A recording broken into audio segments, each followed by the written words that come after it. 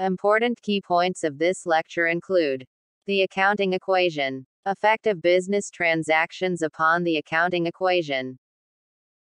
If you like a video then please subscribe to our channel and press bell icon for regular updates. The accounting equation is assets equals liabilities plus owner's equity.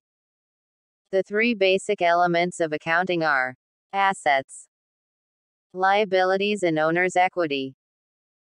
The assets represent the things of value that a business owns.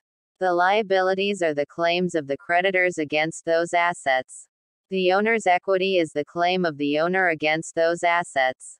The two sides of accounting equation must always be equal. The creditors have a claim against the assets of a business until the liabilities have been paid.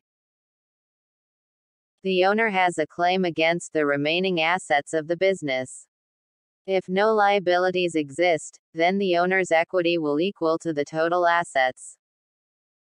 The expression of the equality of an entity's assets, with the claims against them, is referred to as the accounting equation.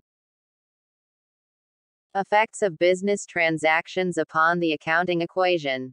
Transaction number 1. Mr. X invested $300,000 in his business.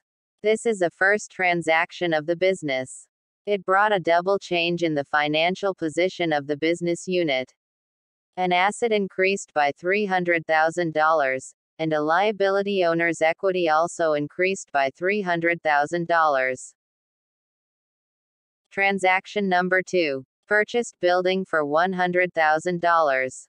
This transaction brought two changes. Cash decreased by $1 lakh dollars, and building increased by $1 lakh dollars. Transaction number 3. Purchased goods for $10,000. This transaction brought two changes. Cash decreased by $10,000, and goods increased by $10,000.